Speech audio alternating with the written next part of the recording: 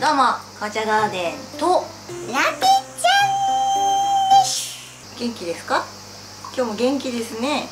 ちょっとスマートになったかな？はい今回なんですけどもチャームさんでお買い物をしました。で今回はアクアリウム用品ですね。モルちゃん用品とか期待されてた方すいません。今回はアクア用品を紹介したいと思います。じゃあ早速開封していきますじゃん。よいしょ。でも今日はラテちゃんのおやつはないんだよ。ごめんね。これ期待してるでしょ。あなんかなんかおやつもらえるかもみたいな顔してる。ラテちゃん。今日ないな。おやつじゃないの。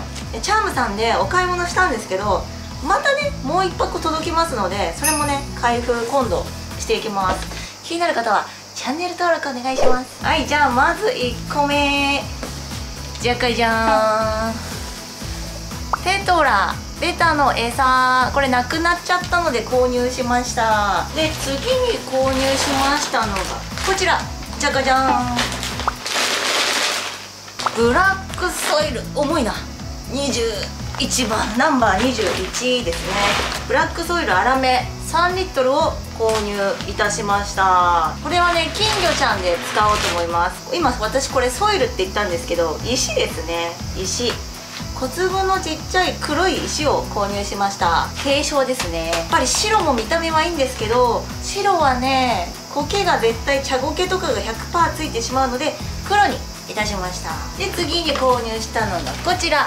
じゃかじゃん氷輪ハイパワー C8000 エアーポンプを購入いたしました。これね私1台持ってるんですけど追加購入いたしました。水槽をね増設したいっていうか今足りてないので購入しちゃいました。であとねチャームさん優しいんでおまけでホースもついてました。いやホースついてるとね嬉しいよね。でこちらのエアーポンプを購入しましたので必要になるのがこちら。じゃかじゃん。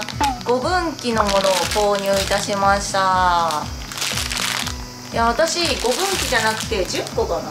10個のを持ってるんですけど正直このね恐林さんのブロワーで10本はね無理。賄えないです。5ぐらいがちょうどいいなって感じました。なので5で次に購入したものがはいじゃがじゃん。こちらです。寿さんのトリプルボックス600というものを購入。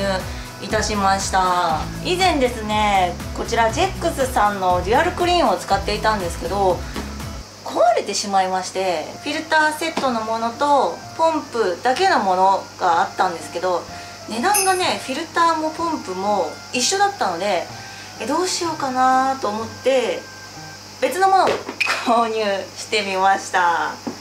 まあ、これを機にいろいろ使ってみようかなって感じですね、えー、合計1万1885円でした。それでは最後までご視聴いただきありがとうございました。こちらのね設置動画とか使用レビューとか気になるなって人はチャンネル登録お願いいたします。バイバーイ。なじっちゃん。なじっちゃんおやつなかったね。ね。なかったねおやつね。最後までご視聴いただきありがとうございました。よければグッドボタン、チャンネル登録よろしくお願いいたします。